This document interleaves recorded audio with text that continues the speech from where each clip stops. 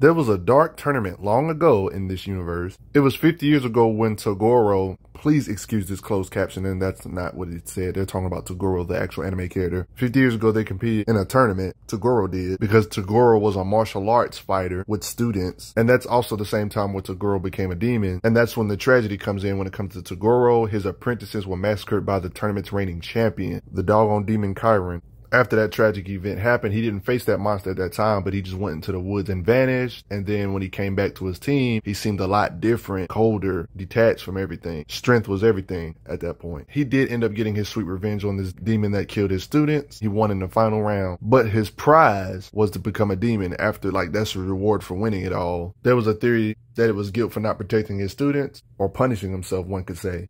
And the only way to atone to him in his eyes was to never be vulnerable again, was the theory. Basically, he's just a normal man with a wounded heart and shattered dreams. Misunderstood character, wasn't really a bad person all the way, if you know what I'm saying. He was like the first main, main boss for the main character, Yusuke. But when it comes to his power, how strong is he though? Just like almost everybody in this universe that's a beast, he's some sort of demon, and he has the ability to increase his power level by certain percentages, 1%, 10%, 7%. You get the idea. A human turn turned demon. The reason why his body changes muscle mass and etc. because he can regulate his power of demon energy, increasing his physical strength, durability to a certain degree, longing to finally get a challenge at his 100%. Just to give you an understanding of how strong he is, he's not even using any of his power like to regulate himself. This could technically be either 1% or 0%, does this to his brother like way off. So he's massively way more than normal human level, obviously, even when he's not really using that much demon energy at all. Even flicking heads off for Pete's sake. Yeah,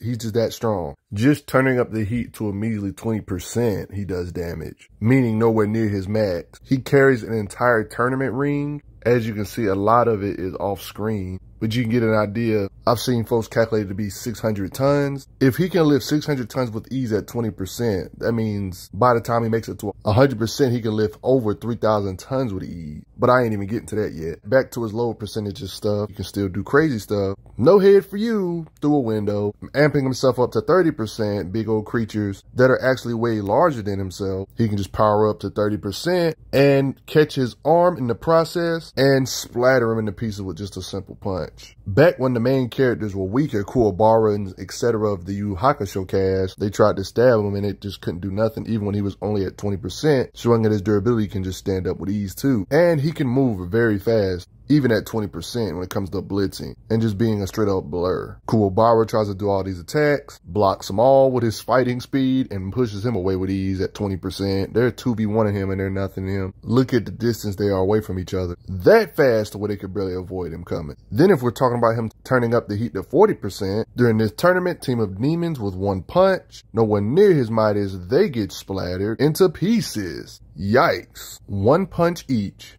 Night night to y'all. Here you can pretty much see him flexing the Yusuke when they first fought that he was just trolling him. Last time he was only at 20% when he supposedly thought he had won against him, but he really wasn't trying at all. Him using 60% of his power here to show him how crazy he could get, talking about how he can mess up a building with ease like this. That totally makes sense. Look how he zips behind him before he can even see him. Raw speed. When he juices it up to 80%, fighting against Genkai made a big crater this big and just for comparison, even Hiei at the time, of course, Hiei surpasses him later on in the series, but Hiei at the time, using his punching power attacks to make a crater of his own, look at the difference. Toguro, he was a monster, you know what I mean? His aura alone at 80% was able to overwhelm Yusuke right here. Just the wind of his attacks do this to the arena. In this occasion, catching Yusuke's attack, goes ahead and punches him through some trees because why not? And here we go with them destroying stages. Here we go all this energy he can produce. Talk about the moment of truth. 100%. But then that's not all because he had different stages of this. 100% and 120% pushing past his own freaking limits. But at 100%, he's strong enough to blow apart the arena just from him flexing his power to go to 100%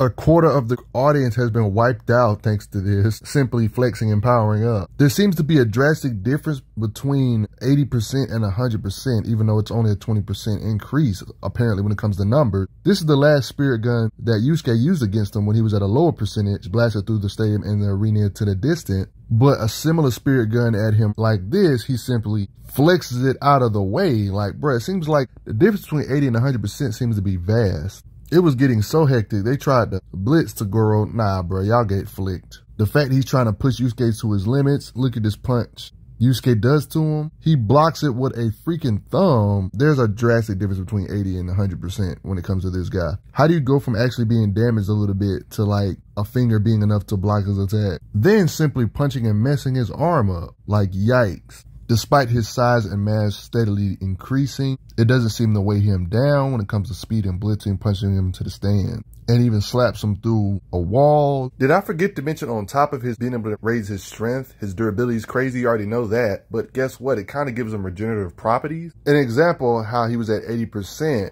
during his fight with Genkai, a big chunk of his arm was literally gone. He was able to pop it back on. Are you serious? Genkai is the being that trained Yusuke for him to even be able to compete against Toguro, by the way, for those that didn't know. And he's able to stop attacks from her blast. Yusuke, when he did a spirit gun into Girl when he was at a mere 80%, withstood a blast that far. The stadium got jacked up, and he mostly was fine afterwards. You see that big old gash in the woods? These two were producing enough power to take out a town, a small one, but he was okay at 80% durability wise.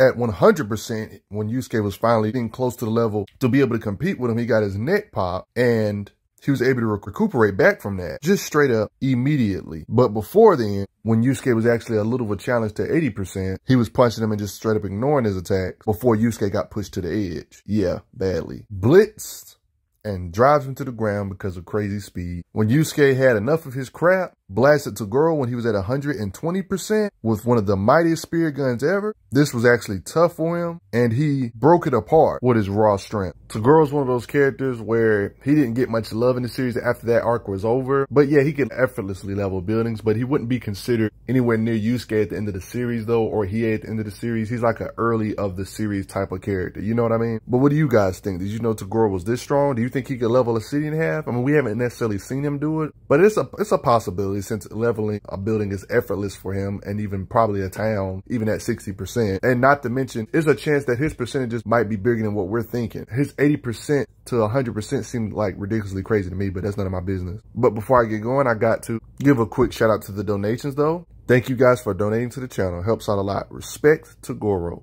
I'm glad you are enjoying your time on the channel. Make sure you check out the playlist on the channel to see other How Strong videos. If you like what this channel is offering, make sure you hit that subscribe button and I will see you guys later.